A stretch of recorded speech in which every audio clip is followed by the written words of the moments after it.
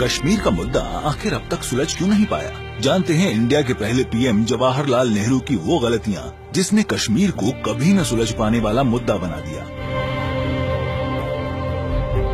नेहरू और शेख अब्दुल्ला की गहरी दोस्ती। नेहरू को कश्मीर के राजा हरि सिंह खास पसंद नहीं थे। शेख अब्दुल्ला ने 1946 में कश्मीर छोड़ो आंदोलन शुरू किया, लेकिन महाराज ने उन्हें जेल भेज दिया। नेहरू मामले को सुलझाने के लिए कश्मीर पहुँचे तो राजा की सेना ने उन्हें रोक दिया। नेहरू इस बात के लिए राजा हरि सिंह को कभी माफ़ नहीं कर पाए और महाराजा जानते थे, इसलिए कभी इंस्ट्रूमेंट ऑफ़ एक्सेशन साइन नहीं किया। बाद में नेहरू ने महाराजा पर शेख अब्दुल्ला को स्टेट का पीएम बनाने का दबाव डाला।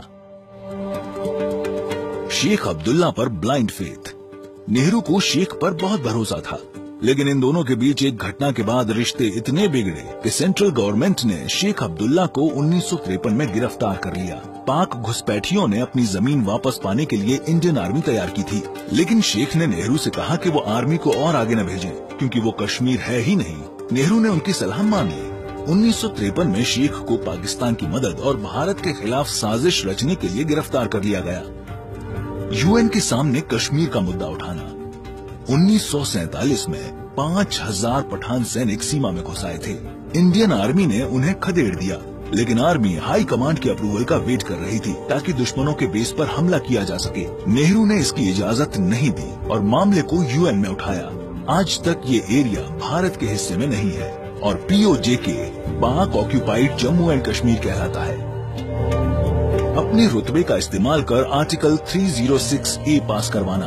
आज जिस आर्टिकल 370 को हम जानते हैं, वो पहले 306 ए था। नेहरू ने इसका ड्राफ्ट बनाने के लिए शेख को बी आर अंबेडकर के पास भेजा था।